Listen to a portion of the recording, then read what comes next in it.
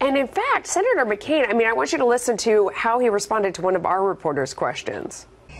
Has your relationship with the president frayed to the point that you are not going to support anything that he comes to you and asks Why would for? you say something that stupid?